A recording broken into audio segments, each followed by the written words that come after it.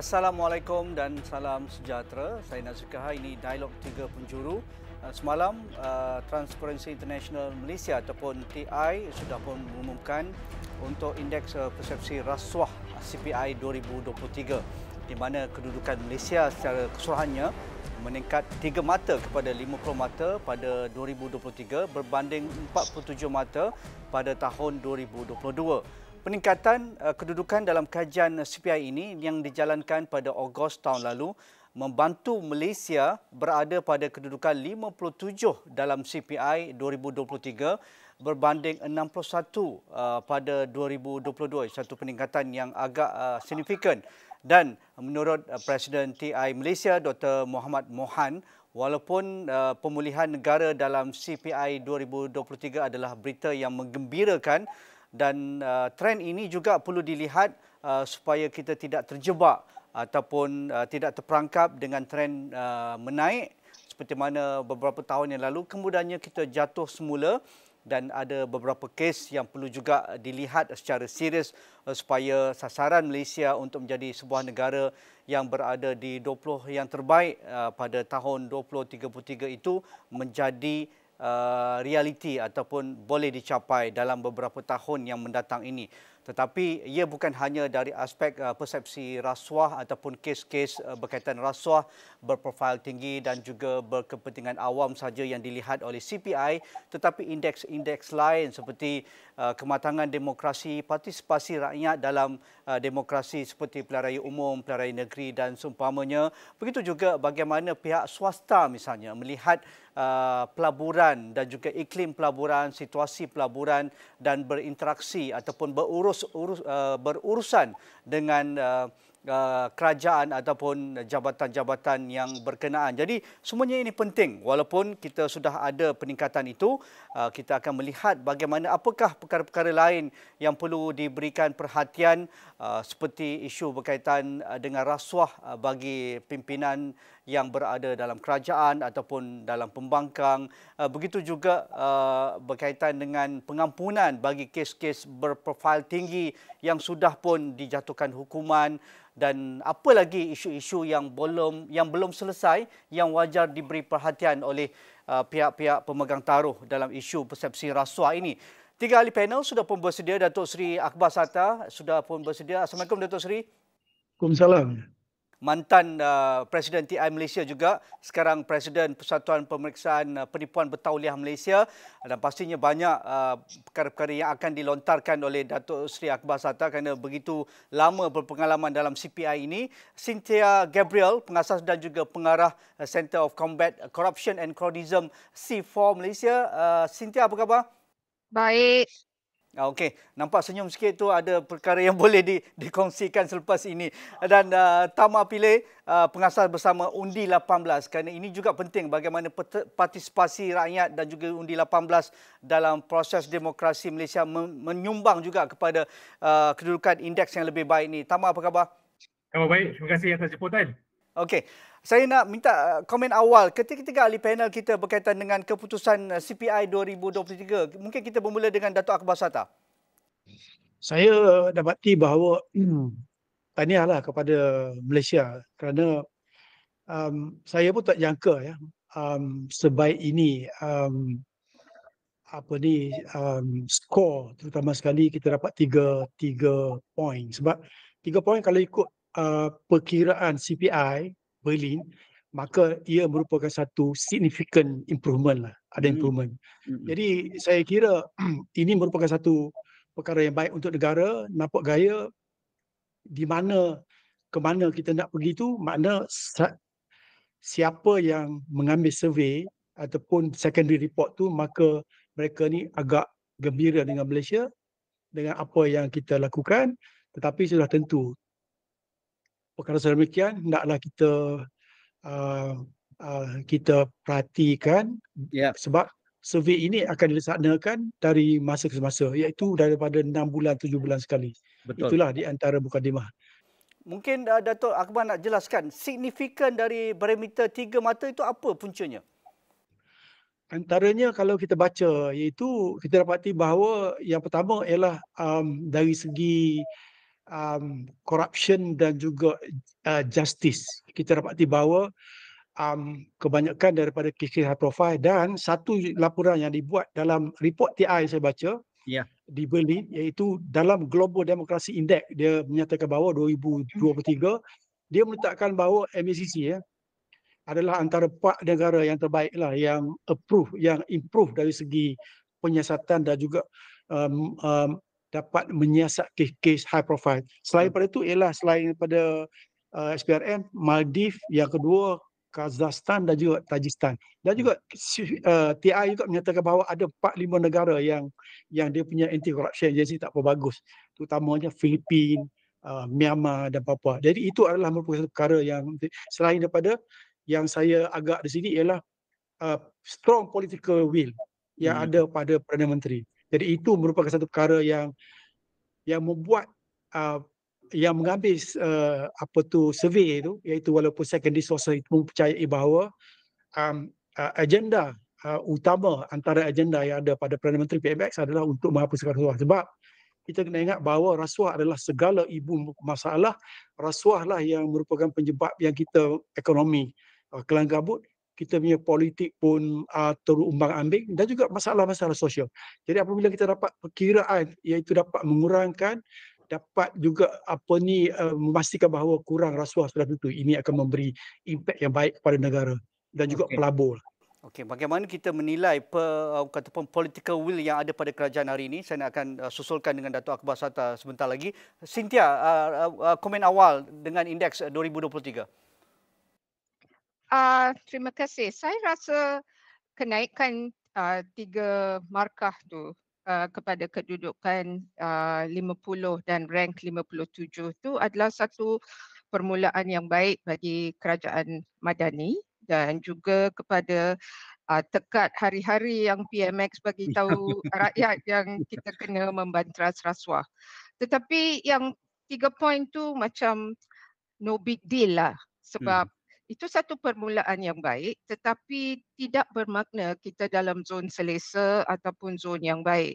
Itu just bermakna bahawa um, ada banyak stakeholder antarabangsa yang juga uh, cuba cari yang positif yang mana kerajaan yang baru uh, selepas Oktober 22 selepas yeah. uh, PRU 15 tu uh, boleh memberi kestabilan kepada negara dan juga boleh memberi keyakinan kepada pelabur dan keyakinan kepada rakyat bahawa uh, komitmen membantras rasuah itu adalah satu komitmen yang serius.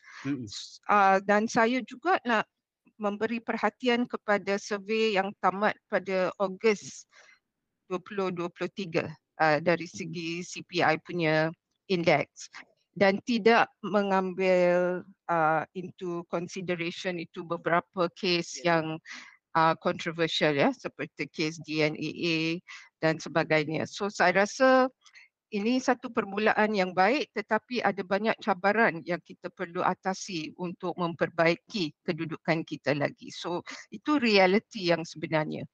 Ya, Uh, menarik. Itu satu pandangan uh, uh, C4 berkaitan dengan indeks 2023 bagi Tama sebagai penggiat utama undi 18 dan juga tadi Datuk Seri Abbas Hatta mengangkat uh, isu partisipasi uh, orang muda dalam pilihan raya dan juga peralihan selepas PRU ke-15 walaupun tidak ada yang menang majoriti untuk mendapat uh, majoriti mudah membentuk kerajaan. Tetapi uh, nampaknya pengkaji uh, TI melihat peralihan kuasa berjalan dengan lancar, uh, pembentukan kerajaan perpaduan diberi keyakinan dengan kestabilan politik. Adakah itu juga uh, memainkan peranan melonjakkan kita kepada tiga markah? Baik, um, bagi saya uh, memang itu ada uh, ada uh, telah memberi kesan kepada uh, skor yang kita dapat kerana kita dapat nampak bahawa dari 2019 tahun-tahun selepas itu tiga tahun selepas itu ketiga-tiga semua kita menurun dari segi yep. skor kita uh, baru tahun tahun lepas kita meningkat balik kepada 50 markah. Maka saya rasa memang nampak bahawa bila ada kestabilan politik lebih mudah untuk penguatkuasa untuk institusi-institusi institusi seperti SPRM untuk mengambil tindakan terhadap individu-individu yang kita panggil sebagai jerung ataupun ikan paus kan selalu kita selalu rakyat selalu nampak bahawa yang ditangkap yang kantoi hanyalah ikan bilis yeah. mana orang-orang besar uh, tak ditangkap maka uh, itu memberikan kesan yang bagus kepada uh, overall uh, indeks uh, persepsi rasuah Uh, tapi dah tentu banyak lagi yang perlu kita lakukan, uh, perlu kita nampak dan saya saya juga risau um, seperti mana yang dikatakan oleh Transparency International bahawa kita naik tahun ni tapi mungkin tahun depan kita atau tahun ni kita turun balik uh, kerana mungkin ada beberapa perkara yang menjadi isu. Contohnya kita dapat nampak baru-baru ni beberapa uh, kes uh, DNA satu. Kedua adalah isu kita nampak bahawa uh, ada video di mana uh, pihak polis ataupun polis trafik meminta rasuah daripada uh, pelancong ataupun uh, apa YouTube influencer. Maka ini adalah beberapa perkara yang juga memberi kesan terhadap rakyat di mana mereka melihat oh okey isu-isu ni masih berlanjutan, masih berleluasa walaupun ada kerajaan baru. Walaupun ada uh, bos-bos baru de- dekat atas. Maka saya berharap bahawa uh, pihak kerajaan dia ambil uh, ambil uh, notis bahawa okey kita dah uh, pihak kerajaan dah uh, melakukan satu penambahbaikan untuk naik kepada paras 50 mata tapi masih jauh lagi perjalanan, masih banyak lagi reformasi dan masih banyak kerja lagi untuk membantras dan membersihkan institusi awam. Ya, uh, kebimbangan Tama berkaitan dengan kes-kes berprofil tinggi dan tadi Datuk Seri Akbar Sata mengungkapkan ada kenaikan yang signifikan kepada peranan SPRM ataupun MACC.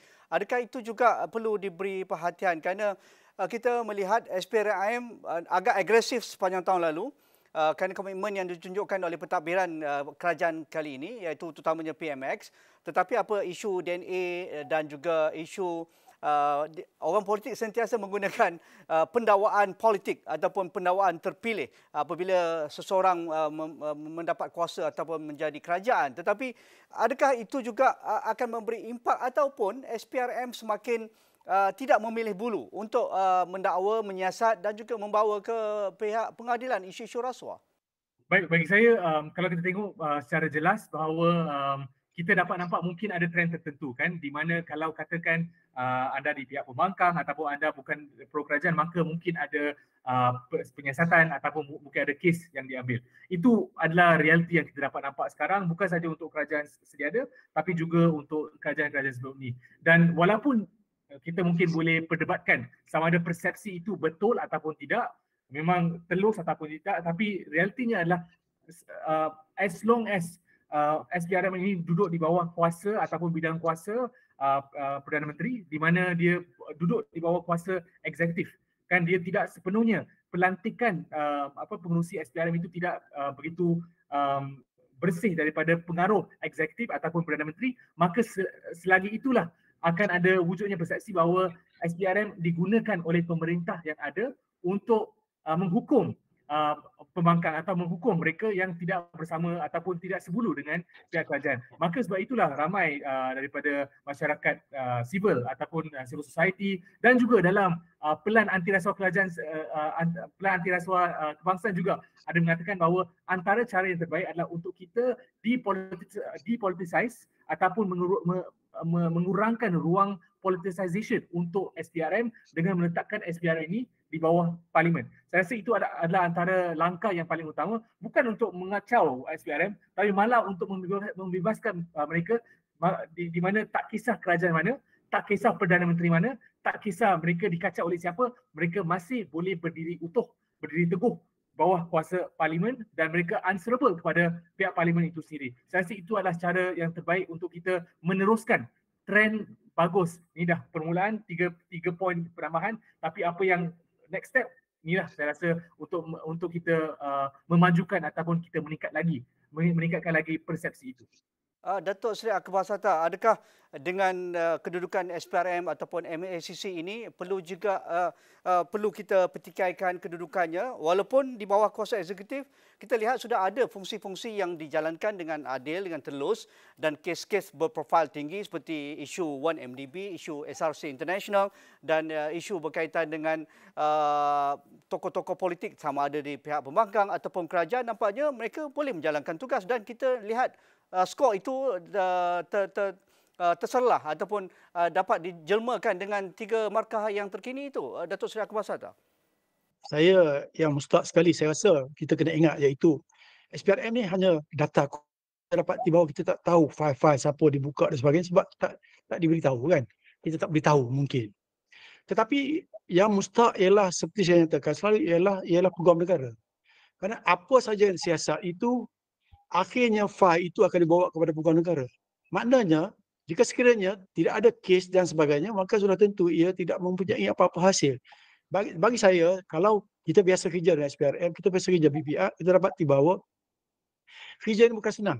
Kita mempunyai ramai musuh dan juga untuk mendapat kerjasama daripada masyarakat susah yang ketiga untuk mengambil statement dan pasti juga di mahkamah juga berlaku iaitu saksi-saksi yang telah yang telah memberi keterangan yang yang betul kadang-kadang di mahkamah pun mereka telah tenteta telah tukar tukar arah sebagainya kerana mereka ini adalah menghadapi berhadapan dengan dengan uh, apa ni uh, golongan-golongan elit golongan-golongan white collar criminal yang berkuasa yang mempunyai wang mempunyai uh, segala-galanya bagi mereka untuk memastikan bahawa mereka ini dapat mengelakkan betul. Itu sebabnya kalau kita banding, jika sekiranya kita lihat iaitu selalunya white collar criminal ni, selalunya perasuah yang kaya raya elit ni, mereka ni saya rasa tak takut.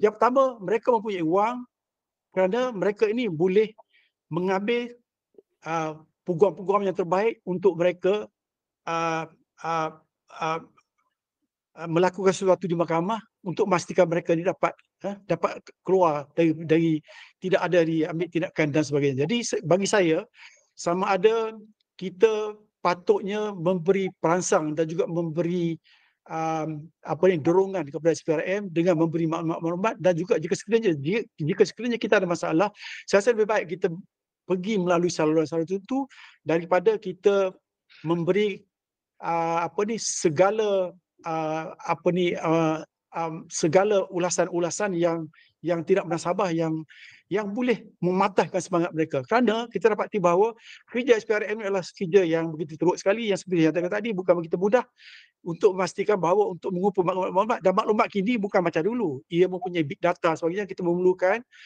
orang-orang yang begitu mahir untuk memastikan bahawa uh, perasuah-perasuah yang terkini masa kini yang yang yang lebih digitalization ini adalah suatu perkara yang saya agak sukar untuk kita kita hadapilah. Hmm. Datuk Seri Akbar sebagai ahli penasihat uh, SPRM dan berpengalaman di di dalam BPR ataupun SPRM sebelum ini, adakah kedudukan SPRM ini di kedudukan yang terbaik ataupun boleh ditambah baik? Kalau tidak pun di bawah parlimen, ke, kalau itu yang kita mahukan yang ideal lah yang sedang dibincangkan oleh semua badan sivil uh, masyarakat sivil dan sebagainya di bawah kalau boleh diletakkan di bawah uh, parlimen lebih telus lebih adil lebih banyak infrastruktur yang boleh diberikan tetapi dengan kedudukan sekarang ini kita menuju ke arah itu tapi kedudukan sekarang ini pada pandangan Datuk Seri Akbar Sata ia ada adakah memadai dengan kuasa yang sedia ada? Adakah memang benar ada campur tangan eksekutif ataupun dari sudut infrastruktur kaki tangan eh, jumlah uh, staf dan sebagainya dari sudut infrastruktur uh, untuk menyiasat sudah pun diberikan yang terbaik kepada MSCC saya rasa apa yang dikenaki oleh SPRM cukup. Cuma sudah tentulah dari segi logistik dari segi alat-alat yang terkini itu diperlukan. Kerana kalau kita lihat kepada keadaan semasa memerlukan kepakaran. Dan kita dapati itu SPRM mengenaki satu situasi di mana hire and fire. Sebab kini setiap pegawai SPRM tu hanya diambil oleh SPA Hmm. Jadi sudah tentu dari segi ini mengikut SPRM mereka dapat bahawa mereka tak dapat mengambil pegawai-pegawai yang begitu mahir pakar kerana tidak mempunyai kuasa walaupun ada seorang wakil. Ha, ini pandangan mereka. Jadi saya bagi saya sama ada efektif atau efektif sistem apa yang kita ada pun yang pertama adalah berdasarkan kepada nombor satu iaitu ketua. Jika sekiranya kita duduk di bawah apa saja jika sekiranya ketua itu dipengaruhi tidak mempunyai wibawa tak berani saya rasa PMI-PMI pun tentu juga. Ini adalah satu perkara yang terletak kepada ketua apa sistem yang terbaik dalam dunia apa jika sekiranya ketua itu tidak baik, tidak mempunyai kuasa, tidak mempunyai tak, apa um, ilmu penyiasatan dan juga berani mengambil tindakan kerana benar, saya rasa ia tak akan memberi apa-apa faedah kepada negara. Itu sebabnya peranan dan juga faktor utama adalah ketua. Ya, bagi uh, Cynthia C4, 2023 dan sejak perahlian kuasa kerajaan Madani, kita lihat kerajaan terutamanya PMX sendiri uh, seperti mana Cynthia katakan tadi hari-hari bersyarah bercakap tentang anti rasuah, memerangi rasuah dan tidak berkompromi dengan kaki tangan dan anggota kabinet terlibat dengan rasuah. Dan adakah ini juga satu satu retorik uh, di samping uh, kerja yang dilaksanakan oleh pihak berkuasa seperti SPRM perlu diterjemahkan dengan lebih baik dalam masa-masa akan datang ini terutamanya tahun-tahun mendatang ini. Uh, ya, ini memang satu tekad yang baik. Tetapi kalau dia menjadi retorik saja, uh, dia tak akan membawa apa-apa faedah kepada rakyat. So dalam lebih satu tahun tu, uh, kita tahu bahawa rakyat tu dia nak lihat uh, yang lebih uh, polisi-polisi yang lebih, undang-undang reformasi yang lebih dan kebebasan institusi itu kena uh, uh, real kena betul-betul macam memberi keyakinan kepada rakyat. So saya rasa itu adalah antara um, apa yang kita kata shortcoming dari segi uh, apa yang kerajaan madani ini memberi kepada rakyat tidak cukup keyakinan sebab um, uh, dari segi SPRM tu itu adalah satu uh, isu persepsi yang sangat penting untuk rakyat bahawa keyakinan dan independence kepada MECC itu kena um, betul and real. So kadang-kadang kita tengok bahawa pendakwaan terpilih tu uh, ada ramai orang yang tanya timing dia why now selepas 20 tahun nak siasat kes yang lama Panama Papers, Pandora Papers sudah 3-4 tahun. Kenapa sekarang saja kita nak siasat uh, dan bukan masa itu juga. Dan kadang-kadang ada juga pengaruh bahawa uh, statement yang keluar daripada SPRM bahawa dia lebih selesa sekarang sebab ada ruang yang lebih di bawah kerajaan Madani. Itu adalah perkara yang tak berapa uh, bagus dan memberi sambutan yang uh, cukup negatif ya dari segi persepsi SPRM sebagai badan yang uh, cukup-cukup uh, independen dan berani uh, membanteras rasuah tak pilih uh, uh, pihak politik yang mana. So saya rasa yang uh, satu lagi um, sektor yang sangat besar adalah sektor bisnes. Uh, sektor private sector yang kita juga tidak memberi banyak uh, emphasis ataupun pandangan di mana kes uh, suapan, kes uh, bribery dan kes rasuah tu banyak memberi um, amaran kepada kita supaya memberi lebih emphasis juga kepada isu macam mana uh, public private sector itu memberi uh, ruang kepada rasuah berlaku dan macam mana pihak politik juga mem, uh, mendapat macam benefit ataupun mendapat uh, kebaikan daripada uh, sistem-sistem yang kita ada sekarang ni yang membawa loophole yang membagi uh, benefit kepada uh, orang kepentingan dan orang politik dan sebagainya. So ada banyak yang uh, PMX dan kerajaan madani uh, sepatutnya membetulkan uh, macam isu macam mana kontrak diberikan uh, itu semua perlu uh, transparansi yang besar ataupun isu pembukaan ruang supaya um, competition itu menjadi satu yang rakyat boleh ada keyakinan yang uh, dia dijalankan secara betul dan tidak dibagi kepada kawan ataupun uh, abang ataupun isteri ataupun mana-mana uh, secara favorite kepada siapa yang kita nak bagi kontrak dan sebagainya. So ada banyak perkara ya, dan ya. ada banyak reformasi yang saya rasa PMX tahu uh, sebab dia dalam kedudukan pembangkang pada banyak tahun juga. So dia juga menjadi uh, aktivis uh, anti corruption atau anti rasuah semasa dia duduk di di uh, kerusi pembangkang di parlimen. So dia tahu sekarang he is in power. So kerajaan madani uh, keyak, rakyat minta dia buat lebih. Betul. Bagi bagi Cynthia, ya, kerana ini baru tahun pertama, betul. Uh, kalau kita ingin melihat hasil perkara-perkara yang berkaitan, dengan reformasi institusi, uh, kedudukan uh, perolehan kerajaan dan juga pemain-pemain industri dan komersial bagaimana dapat membenteras rasuah. Tetapi adakah kita perlu lebih realistik? Kerana contohnya apabila kerajaan ingin membuka open government uh, punya policy, isu berkaitan dengan subsidi bersasar, isu berkaitan dengan uh, big data seperti uh, padu dan sebagainya. Kita lihat realiti rakyat seolah-olah dia against eh? against sesuatu yang menarik uh, apa yang mereka dapat selama ini ataupun sistem-sistem yang mereka sudah lalui berpuluh tahun dengan selesa dan uh, kerajaan tidak popular pada ketika ini.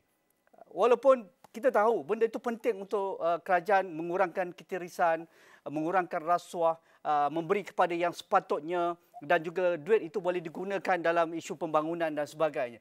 Adakah ini juga satu dilema kerajaan di bawah PMX kerana untuk membetulkan sistem ia bukan satu jangka masa yang mudah tetapi ia perlu uh, perlahan-lahan supaya kita belajar apa yang berlaku pada 2018 ketika PH 1.0 uh, ingin mereformasi banyak perkara akhirnya uh, against itu berlaku dari semua sudut untuk meruntuhkan kerajaan tersebut. Ya betul. Uh, saya rasa uh, perkara ni uh, yang sudah ada banyak komplikasi sebab dah lebih 65 tahun kita juga sudah merdeka. Memang memerlukan masa untuk membawa perubahan. Tetapi apa yang rakyat perlu tahu adalah apakah plan kerajaan. So sekarang dari NACP kita sudah ada NACS, NACS, National Anti-Corruption Strategy. Tetapi apa strategi dia? Apakah langkah-langkah yang akan diambil dalam masa lima tahun yang akan datang?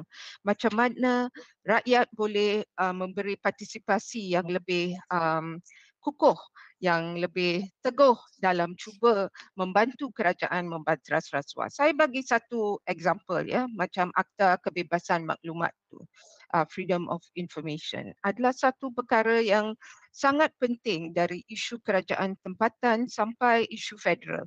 Sebab rakyat ada hak untuk tahu uh, macam mana uh, satu pembangunan yang akan uh, berlaku di tempat kawasan perumahan mereka. Apakah kos pembangunan dia? Siapakah uh, kontraktor?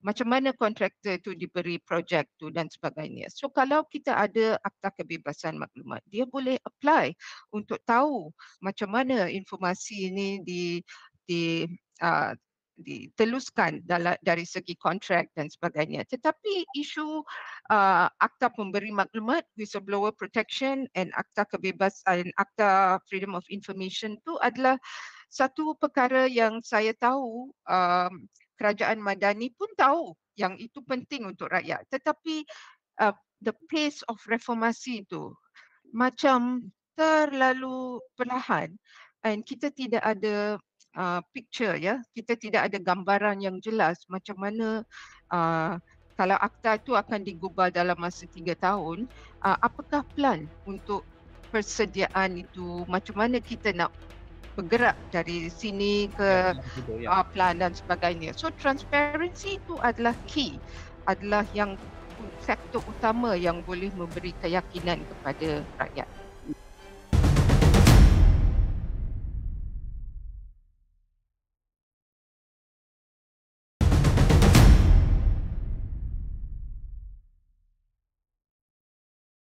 Ya, nampaknya kita sudah berbicara tentang roadmap eh Datuk Seri dan juga uh, uh, Tama untuk kita mencapai kedudukan CPI yang lebih baik tahun-tahun mendatang itu. Bagi Tama sendiri, apakah uh, perkara lain uh, selain apa yang diperkatakan oleh Cynthia itu untuk memastikan kita mempunyai timeline uh, NCPA, NACP dan sebagainya, NACS uh, dan sebagainya. Uh, begitu juga uh, kerajaan sudah memberi komitmen isu berkaitan dengan untuk uh, melihat semula akta pemberi maklumat, akta rahsia rasmi dan juga berkaitan dengan akta-akta lain yang mungkin uh, selama itu terlampau uh, lama tidak dilihat semula. Tetapi perlu ada roadmap yang tertentu untuk memastikan kita bergerak ke arah itu dan kita daripada sekarang menuju ke arah itu apa uh, temporary plan yang boleh kita lakukan? Pandangan Tarma. Uh, baik. Bagi saya um, kita dah memang ada seperti mana uh, Cynthia katakan, Datuk Sri katakan, memang dah ada perancangan yang yang lama kita ada uh, pelan anti rasuah kebangsaan sejak 2019 sepatutnya dilaksanakan 2023. Kalau tengok dekat website PMO ni, dia dia dia bagi tempoh masa 4 tahun. Dah tentu dalam masa 4 tahun yang lalu banyak perubahan politik yang berlaku. Mungkin kita cakap, okey, pelaksanaan reformasi, pelaksanaan perubahan undang-undang itu uh, susah untuk dilakukan. Okey, fine. Tapi apa yang rakyat ingin nampak adalah satu persatu supaya beberapa perkara ini dilaksanakan dan itulah sebabnya perlu adanya iltizam politik untuk membawanya kepada parlimen untuk uh, membentang membentangkannya dan uh, untuk dapatkan undi. Dan kita kena ingat bahawa dalam beberapa perkara ini ia tidaklah kontroversi. Contohnya kalau kita tengok untuk akta uh, apa uh, untuk kita dapatkan ombudsman untuk kita dapatkan uh, apa parliament services act untuk kita uh, menguatkan untuk menguatkan parlimen dan sebagainya. Beberapa perkara ini saya rasa tidaklah kontroversi. Bukannya kita akan uh, hilang kuasa bukannya apa uh, pembangkang akan rugi dan sebagainya. Tidak. Kan perkara ini tidak kontroversi tapi kita lengah-lengahkan. Maka sebab itulah saya katakan iltizam politik itu perkara yang teramat penting. Itu yang pertama. Kedua adalah saya nak bercakap sedikit tentang pragmatisme uh, ataupun uh, untuk survival politik dan sebagainya kerana kita banyak kali kita dengar tentang nak jadi pragmatik, nak apa nak tengok Machiavelli, nak tengok apa nak tengok survival politik kerajaan dan sebagainya. Tapi hakikatnya kan uh, bagi saya lah sebagai seorang pengundi, sebagai seorang aktivis, sebagai seorang yang inginkan yang terbaik untuk Malaysia, uh, bagi saya yang penting adalah kita pragmatik pragmatik ke arah apa? Apa yang kita ingin capai dengan menggunakan pragmatisme itu adakah pragmatisme itu hanyalah untuk mengekalkan kuasa ataupun kita pragmatik untuk mencapai sesuatu yang lebih baik untuk negara. Uh, jadi bagi saya itu yang yang saya nak ujarkan untuk semua pemimpin kerajaan untuk ingatlah bahawa at the end kita pragmatik untuk mencapai prinsip-prinsip tertentu dan kita ingin membersihkan negara kita. Kita ingin menjadikan negara Malaysia lebih baik dan sebagainya kan. Dan saya tahu mungkin ada berita yang uh, yang mungkin tidak begitu baik uh, untuk uh, untuk ramai untuk dari segi nak bercakap tentang indeks. Rasa uh, ada beberapa sumber yang mengatakan pasal uh, isu Datuk Seri Najib Tun Razak uh, ada uh, itu dah tentu pada masa sekarang tak ada apa-apa uh, keputusan ataupun pengumuman rasmi tapi saya rasa itu juga akan memberikan kesan kepada satu pada persepsi kita terhadap rasuah negara. Adakah elit dianggap ataupun diberi layanan yang lain? Pertama, kedua adalah bagaimana untuk kita memastikan bahawa dalam kita memastikan perbincangan tentang pragmatisme untuk uh, untuk memastikan kerajaan masih kekal dan tidak dikacau dan tidak tidak goyah dan at the same time kita ingin mencapai beberapa prinsip asas uh, red lines yang kita kita jangan nak nak cross. Saya rasa itu adalah cabaran yang teramat besar untuk kerajaan dan saya ujarkan kepada semua uh, rakyat Malaysia dan juga uh, dan juga pemimpin kerajaan uh, we have to hold on to the principle and try to push forward um, ke arah itulah. Saya rasa itu adalah mentaliti yang paling utama.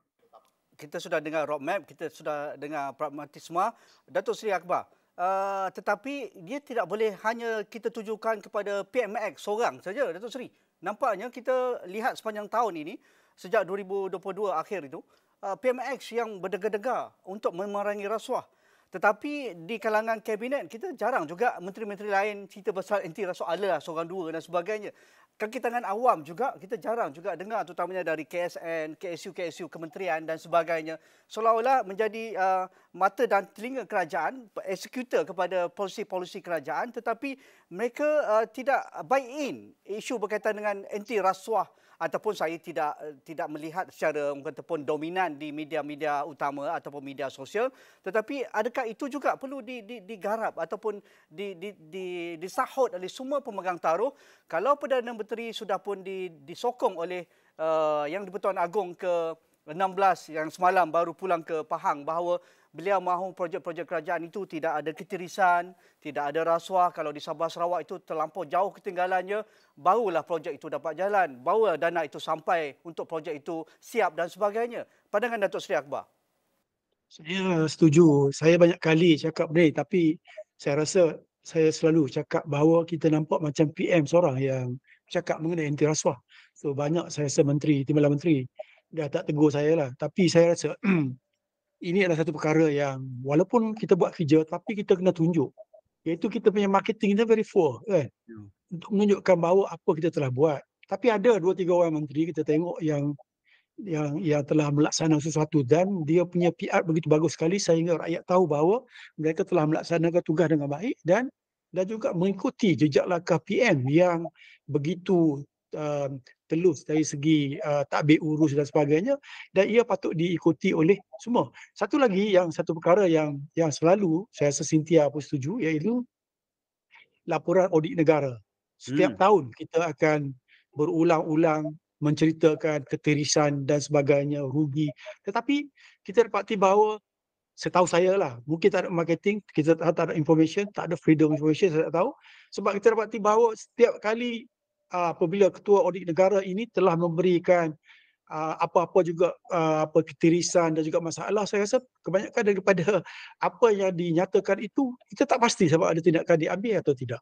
Itu sebabnya ada setengah menyatakan bahawa oleh kerana tidak ada undang-undang khas seperti yang ada pada Seksi 17A yang yang boleh uh, apa ni uh, uh, memberi sasaran kepada director dan sebagainya jika sekiranya berlaku tetapi pada kerajaan tidak ada itu ada yang mencadang ada yang mencadang menyatakan ya, bahawa yeah. kita buat yeah. seperti Hong Kong seperti misconduct of official uh, public official kan jika sekiranya berlaku ketirisan kita sendiri tak tak tak mengindahkan apa ni uh, yeah. bajet dan sebagainya hmm. itu hmm. kita akan akan di, diambil tindakan. Jadi ini antara saya rasa sudah tentu kita jangan harap SPRM saja uh, melaksanakan uh, perkara yang untuk mencegah rasuah tetapi saya rasa uh, jabatan-jabatan kerajaan dan juga ahli politik hendaklah bersama-sama menunjukkan bahawa kita ini adalah ses- melaksanakan satu tugas iaitu uh, untuk menghapus rasuah supaya negara kita lebih maju dan juga sudah tentu kerugian akan lebih uh, kurang.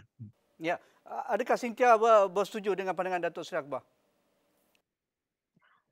Uh, ya dan juga saya rasa bahawa um, dari segi prioriti itu isu transparansi adalah satu perkara yang perlu diutamakan. Uh, whether it is dari segi Freedom of Information Act atau apa. Uh, satu lagi example tu adalah dari segi uh, deklarasi aset. Uh, dulu ada satu uh, masa 2018 tu ada satu um, practice asset declaration. Tetapi apa yang dia uh, deklarasi asset tu adalah satu perkara yang um, kita boleh macam kata itu joke sebab dia hanya letakkan uh, salary saja kat aset tu. Bukan aset yang sebenarnya. So tangible not tangible berapa dalam bank yeah. account berapa kereta dan sebagainya. Tetapi yang paling penting tu adalah transparency of asset declaration and how uh, deklarasi aset tu boleh memberi keyakinan kepada rakyat bahawa ahli politik yang mereka uh, um, cabut undi masa pilihan raya itu adalah orang yang baik, adalah orang yang telus walaupun kaya dia telah pun uh, transparent dari segi ketelusan dan sebagainya. Yeah. So itu adalah um, the the principle di sebalik uh, uh, kebebasan maklumat dari segi transparansi dan sebagainya. Dan saya rasa satu lagi cabaran and saya agree ya ini bukan saja kepada PMX PMX seluruh kabinet dan kerajaan madani perlu uh, mengintegrasikan prinsip um, good governance uh, dalam tiap-tiap ministry itu. So okay, kita ada organizational anti-corruption plan dan sebagainya. Salah, Tetapi ya.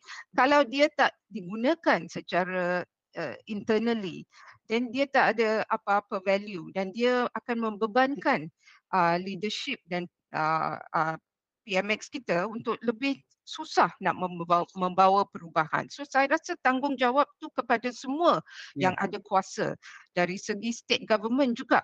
Yeah. Uh, kita perlu ketelusan, kita perlu accountability. Dan kalau kita uh, huru-hara nak pergi membawa foreign investor masuk ke dalam negara sebab kita nak membangunkan ekonomi, kita perlu memberi keyakinan kepada mereka juga yang sistem kita sudah berubah. Bukan ya. lagi boleh 1MDB boleh berlaku hmm. sekali hmm. lagi. Hmm. Kita sudah berubah. So sekarang bagus kita ada Fiscal Responsibility Act. Itu ya. satu hmm. perubahan yang positif. Tetapi apakah uh, makna dia perlu hmm. di di um, breakdown supaya kita tahu yang finance minister tu kena sekarang membuat laporan kepada parlimen uh, dari segi kewangan, dari segi macam mana bajet tu diuruskan dan ya. sebagainya. Yeah. So kita perlu lebih um, maklumat daripada kerajaan yang berkuasa secara transparent memberi ruang kepada ya. partisipasi yeah. rakyat. Ya, bagi Tama. Ah, okey, Datuk Seri silakan. Saya saya nak tambah sikit. Saya setuju mengenai apa declaration of asset kan. Kadang-kadang kita ahli politik kerja 30 tahun, declare 10 juta mana boleh 20 juta kan rumah di bangsa di ni pun dah 2 30 juta. Satu lagi saya rasa yang boleh uh, menaikkan kita punya CPI ialah dari segi declaration of asset. Sebab itu ada soalan ditanya dalam sembilan secondary sources. Yeah. Itu mustahak. Itu sebabnya selain itu freedom demokrasi. Kita tengok dalam CPI ni antara negara-negara yang nak yang bagus sekali yang fully demokratik ni demokrasi CPI dia adalah 73%. Mm. Dan yang yang yang yang satu lagi floor demokrasi. Floor ni lebih kurang macam zaman piramid lah kita cakap apa ni demokrasi terpimpin. Dia punya skor 48. Tapi kita Malaysia 50 kira okey lah. Dan satu lagi yang tidak demokratik ialah 32%. Tetapi Singapura bukan demokratik. Tetapi bagaimana Singapura dapat adalah antara CPI yang terbaik lima terbaik dalam dunia kerana dia punya uh, internal control policy dia bagus. Itu antara yang patut kita lihat. Dan sudah tentu saya rasa political donation ini seperti yang tadi adalah perlu dilaksanakan supaya automatically antara uh, CPI ini antara secondary sources itu adalah utama yang perlu dilihat oleh apa ni uh, uh, apa ni uh, dalam report yang yang akan dilaksanakan. Ya, Datuk Seri nak, nak komen sikit. Uh, pada hujung tahun lalu, Perdana Menteri mempengusikan jawatan kuasa tata kelola kerajaan dan sudah pun mengangkat isu deklarasi aset ini akan ada uh, formaliti ataupun uh, format yang baru yang akan lebih menyeluruh. Tetapi kalau kita sebagai badan sivil, uh, mereka yang ingin melihat ketulusan dan juga uh, informasi yang lebih telus, mengapa kita tidak boleh diam? Kerana pengumuman-pengumuman ini sudah pun dinyatakan oleh pihak kerajaan dan juga PMX. Ya, itu itu satu perkara yang yang bagus dan saya haraplah supaya apabila kita declare aset tu pastikan kita declare baik-baik sebab kita kena ingat apabila siasatan dibuat di SPRM apa yang kita tak declare tu kita akan didakwa itu satu ya. yang kedua kalau boleh lah maknanya ini permintaan saya iaitu saya tak tahulah mungkin kerja SPRM lagi banyak sebab uh, selalunya saya tak pasti sama ada SPRM ada kuasa nak apabila uh, apabila setiap uh, uh, apa ni ahli politik declare asset. Yang saya tahu adalah mereka ni hanya jadi macam uh, untuk menjaga saja. Uh, itu. Jika sekiranya boleh ya, iaitu yeah. satu perkara yang disua oleh ahli politik dan sebagainya melalui pendapatan dan juga informasi yang dihantar itu jika sekiranya ia boleh membantu kalau kita syak rasuah maka sudah tentu saya rasa itu boleh membantu dan sebagai pegawai kerajaan dan juga ahli politik. Saya rasa kita tak, tak perlu takut jika sekiranya hasil-hasil pendapatan apa yang ada itu adalah hasil-hasil adalah secara halal. Apakah hmm. kita perlu iaitu keluar makan dengan anak, dinner dengan anak dengan menggunakan hasil-hasil tak halal. Itu satu perkara yang patut kita fikir. Ya, menarik. Bagi Tama, uh, untuk kita berada di kedudukan teratas kalau kita boleh rujuk negara-negara Skandinavia, uh, rakan kita di selatan itu Singapura walaupun uh, Datuk kata-kata tidaklah demokratik mana Singapura itu tapi internal proses itu yang menyebabkan isu rasuah itu begitu sukar dilakukan oleh semua penjawat awam dan juga mereka yang ingin berinteraksi berurusan uh, melakukan uh, perniagaan dengan Singapura. Akhirnya ia dapat berada di kedudukan yang tertinggi lebih daripada 73% itu. Tetapi Malaysia kalau dengan political will yang ditunjuk dan ada sistematik roadmap yang ingin kita capai dan juga pemegang taruh kalau kita lihat uh, pada tahun lalu misalnya Tarma kita lihat kes-kes berkaitan profil tinggi bukan hanya ter, ter, terarah ter, terjurus kepada ahli politik kita lihat kaki tangan awam, uh, badan perniagaan, kartel-kartel yang membolot projek-projek kerajaan, isu LCS, isu berkaitan dengan uh, uh, perkara-perkara tender-tender yang tender terus oleh kerajaan. Nampaknya SPRM bertindak. Mengapa ini perlu disokong dan lebih perlu ada uh, diperluaskan lagi dan juga tips-tips yang ditunjukkan dalam laporan audit negara saban tahun itu perlu juga dibuat susulan untuk melihat siapa yang bertanggungjawab. Baik, uh, baik pertama sekali kita kena ingat bahawa bila kita tengok skala dapat 50 markah itu itu adalah antara kosong ke 100. Maksudnya kita baru dekat middle point, mid point saja.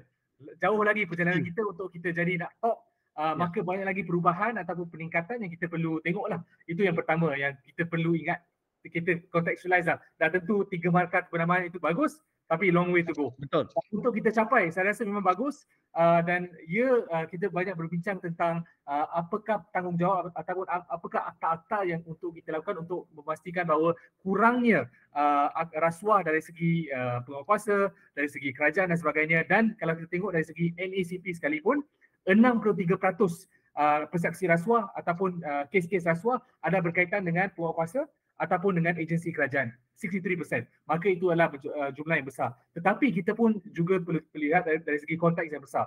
Kalau kita nak menyelesaikan rasuah uh, seperti yang seperti mana yang dikatakan, kita juga perlu melihat apakah kes-kes rasuah di sektor swasta dan bagaimana untuk kita mengurangkan rasuah uh, ekosistem rasuah itu sendiri antara public private punya relationship uh, dan uh, dan ada pelbagai cara untuk kita lakukan. Pertama adalah untuk kita melawan kartel-kartel yang ada kerana kita tahu kewujudan kartel ini bukannya sebab adalah satu perkara yang semula semula jadi. Bukannya mereka ini adalah kartel sebab mereka ini adalah yang terbaik, tapi mereka juga menggunakan uh, kawan-kawan dalam kerajaan, mereka gunakan polisi-polisi tertentu untuk menekan uh, apa uh, syarikat-syarikat uh, yang mungkin boleh bertanding uh, melawan mereka mereka uh, mereka tolak syarikat-syarikat ini. Maka melawan kartel ini satu perkara yang bagus. Akta anti monopoli. Ya. Kedua adalah akta anti Alibaba anti uh, Alibaba. Uh, saya rasa itu juga satu perkara yang bagus ya, dan di, dibawa ataupun di, uh, dicadangkan oleh uh, YB Rafizi Ramli. Saya rasa itu adalah satu perkara yang teramat bagus untuk kita pastikan bahawa kerajaan dapat dapat uh, jimatkan duit dan rakyat akan mendapat suatu uh, projek yang terbaik menggunakan belanjawan yang diberikan oleh kerajaan. Maka kita tahu, kita pun tahu ini adalah open secret untuk yeah. kerajaan kita di mana setiap lapisan uh, Alibaba ini mereka tak buat kerja, mereka hanya jual liu tapi mereka mendapat berjuta ringgit sebagai wang imbuhan. Maka bagi saya ini adalah satu perkara yang kita perlu selesaikan dan yang terakhir yang saya juga ingin tekankan adalah uh, kita sebagai suatu ekonomi negara Malaysia ini uh, kita banyak uh, punca kuasa ataupun banyak kawalannya adalah daripada pihak kerajaan. Maka bagi saya satu perkara yang mungkin perlu dipertimbangkan adalah bagaimana untuk kita mengurangkan um, ruang ataupun pengaruh GLC dan sebagainya ke, ke atas uh, ke atas uh, sektor swasta ini untuk meningkatkan uh, meningkatkan uh, daya tanding untuk meningkatkan uh, saiz uh, ekonomi kita sebab kalau tengok asalkan di mana adanya uh, apa uh, uh, pengaruh oleh pihak kerajaan secara langsung yeah. ataupun tidak langsung ada kuasa ataupun ada uh, peluang untuk rasuah. Maka untuk kita mendapatkan bukan saja untuk anti rasuah tapi untuk mendapatkan satu ekonomi lebih besar, lebih gah Uh, itu adalah cara-cara yang kita perlu lakukan. Saya rasa ini tiga perkara yang perlu dipertimbangkan uh, selain daripada apa yang telah dibincangkan uh, NACP dan sebagainya untuk mengawal uh, rasuah dari pihak kerajaan tapi juga untuk pihak swasta, swasta ini juga perlu dipertimbangkan oleh pihak kerajaan. Haji, Haji Razali, ya.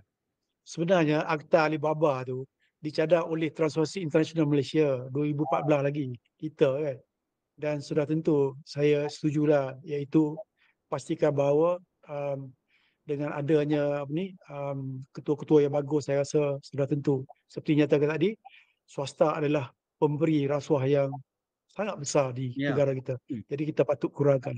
Ya, uh, Cynthia, uh, kita tadi nampaknya seolah-olah uh, kita terlupa apabila kerajaan lebih banyak melakukan perniagaan termasuk dari GLC, GLIC kita uh, ini membuka ruang lebih banyak uh, uh, aktiviti lakukan rasuah kerana competition dia semakin kecil persaingan tidak sihat dan akhirnya uh, orang kerajaan juga yang terlibat. Jadi mengapa kita juga memberi perhatian kerana datang daripada JLC JLIC ini mereka ber, beroperasi seperti swasta. Mereka dibayar dengan gaji lebih tinggi daripada uh, rakan-rakan dalam uh, kaki tangan awam dari PTD dan sebagainya. Tetapi amalan ini open secret. Seperti mana Tama katakan tadi apabila kerajaan melakukan perniagaan seperti perolehan-perolehan kerajaan seperti besar dalam uh, pertahanan, uh, industri pembinaan, uh, infrastruktur-infrastruktur awam yang memakan jumlah uh, perolehan berbilion ringgit dan sebagainya. Uh, mengapa ini juga kita perlu uh, perangi juga? Bukan perangi kita nak memerangi mereka, tidak. Tetapi kita lebih telus Uh, kerajaan lebih, perlu lebih berhati-hati dalam memasuki perniagaan-perniagaan yang yang berisiko tinggi dan sebagainya? Ini adalah satu perubahan struktur yang utama yang sangat-sangat susah untuk direformasikan sebab ahli politik uh, kebanyakannya uh, masuk ke dalam sistem politik ni sebagai orang yang bukan kaya tapi dia tahu uh, political career dia memberi ruang yang sangat besar untuk menjadi kaya melalui perkara yang macam ni. So it is the nexus of business and politics yang kita perlu tangani and ini menjadi satu uh, uh, perubahan struktur yang sangat-sangat susah untuk kita cuba pecahkan uh, dari segi uh, penerimaan suapan, dari segi uh, under counter deals dan money dan sebagainya. That is what is fueling kita punya ekonomi dan kita perlu membawa perubahan dari segi itu. So saya nak cuba memberi mencabar sedikit kepada kerajaan Madani supaya melibatkan uh, expert dari um, akademia, media, private sector, civil society untuk cuba membawa satu um, uh, plan untuk macam mana kita boleh mengubah dan membawa lebih transparansi kepada sistem um, pemberian kontrak uh, kepada pengurangan GLC uh, dari segi uh, competition yang dibagi uh, tahu oleh Tarma tadi.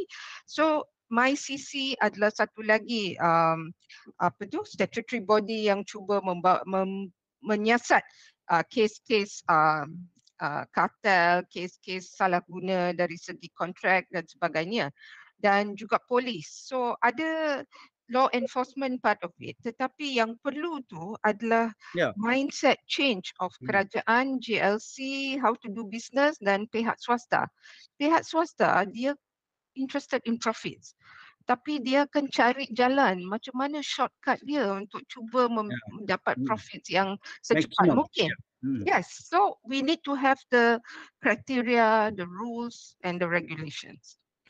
Datuk Seri, tadi kita dah cerita tentang ini lama dah, satu dekad yang lalu. Saya masih ingat bila Datuk Seri menjadi Presiden TI. Datuk Seri cuba mempromosikan, mencanangkan, melaungkan bahawa open government itu adalah punca.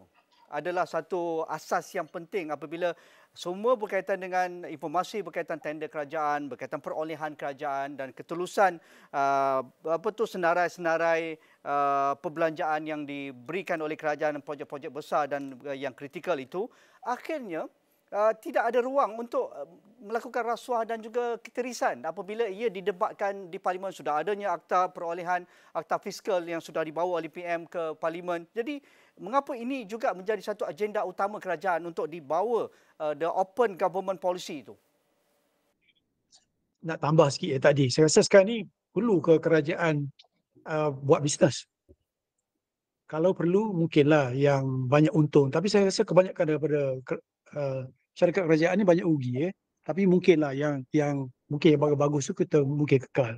Dan untuk menjawab uh, open open government tadi, open government, itulah merupakan satu konsep yang dipelopori antaranya negara ialah Indonesia. Yang mana setiap polisi kerajaan tu di dianggotai oleh NGO juga. Ha, ini adalah satu konsep baik. Tapi Malaysia saya tak tahu sebab apa. Dulu, 7-8 tahun dulu kita tak dapat masuk dalam dalam dalam grup ni adalah kerana freedom of information tak cukup. Tapi yeah. sekarang saya dapat bahawa freedom information kita adalah bagus. Yeah. Tentu kita layak. Jadi ini bermakna apabila kita uh, membincangkan sesuatu terutama sekali dari segi kontrak sebagainya kita ada NGO dalam tu untuk membantu. Bukan saja NGO bahkan juga ahli-ahli pakar-pakar yang tertentu yang dapat memberi apa ni input-input yang baik dan juga untuk mengelakkan daripada rasuah. Ini adalah satu yang patut di, dilakukan oleh kerajaan Madani supaya kita memasuki dalam kumpulan open uh, government concept ini yang yang mana seperti yang tadi Indonesia juga dianggotai oleh uh, di dalam uh, apa ni organisasi yang saya sebutkan tadi lah. Menarik. Akhir sekali Tama, uh, tadi Tama juga ada memetik sedikit isu yang terkini berkaitan dengan pengampunan uh, individu yang berprofil tinggi berkaitan dengan kes yang mega dan sebagainya. Itu juga uh, memberi satu kerisauan kepada orang ramai rakyat dan sebagainya supaya kerajaan lebih berhati-hati untuk masa-masa akan datang dan juga melihat isu-isu yang berprofil tinggi isu rasuah berkepentingan awam ini berada prioriti yang ter- teratas sekali supaya ia tidak mudah dirobek-robekkan, tidak mudah diambil tindakan dengan sewenang-wenangnya dan kita menjunjung kedaulatan undang-undang tanpa memilih bulu. Pandangan Tarma. Saya memang setuju 100%. Uh, kadang-kadang isu kita di negara kita, kita seperti mana yang saya katakan tadi, kita ramai bilis yang ditangkap. Tapi asasnya adalah selagi mana golongan elit, selagi mana golongan ikan paus, jerung ni yang membuat kesalahan, yang membuat uh, jenayah, yang mengambil rasuah dan mengambil duit rakyat, selagi mana mereka eh, sama ada uh, mereka tidak diambil tindakan ataupun mereka ambil tindakan tapi dilepaskan awal ataupun di mendapat uh, uh, apa ke, keampunan dan sebagainya kan? Maka itu telah itu akan memberikan persepsi buruk kepada rakyat bahawa kita tidak serius dalam hal menangani rasuah dan dalam hal untuk menjadikan negara Malaysia ini sebuah negara yang mendaulatkan undang-undang kan uh, itu adalah isu itu adalah persepsi ada. Di mana adanya wujudnya uh, double standard ataupun dua darjat uh, di mana rakyat ataupun orang marhain ada undang-undang lain untuk golongan elit ada uh, ada undang-undang lain kan?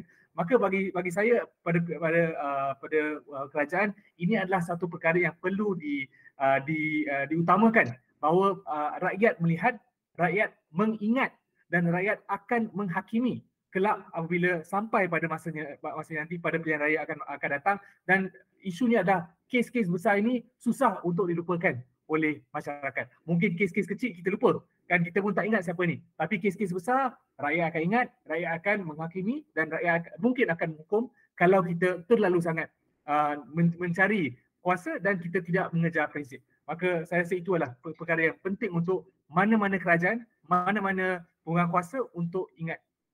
Menarik. Terima kasih kepada tiga ahli panel. Masa tidak mengizinkan untuk kita uh, panjang lagi uh, diskusi kita pada malam ini. Uh, tetapi banyak perkara yang boleh kita cerakinkan. Kita, mungkin kita bawa satu topik, sub-sub topik yang lain dalam kita menganalisis uh, indeks persepsi rasuah uh, 2023 yang baru saja dikeluarkan oleh TI Malaysia. Jadi terima kasih Datuk Seri Akbar Sata. Uh, Presiden Persatuan Pemeriksaan Penipuan Bertauliah Malaysia seringkali memberi input uh, berkaitan isu rasuah kepada kami di Surawani. Cynthia Gabriel begitu juga dari C4 dan juga Tama Pilih rakan kami yang sentiasa mengangkat isu anak muda dan juga governance uh, pengasas bersama Undi 18. Sekian saja bersama saya Nazri Kahar dalam dialog tiga penjuru malam ini. Assalamualaikum, kita jumpa lagi.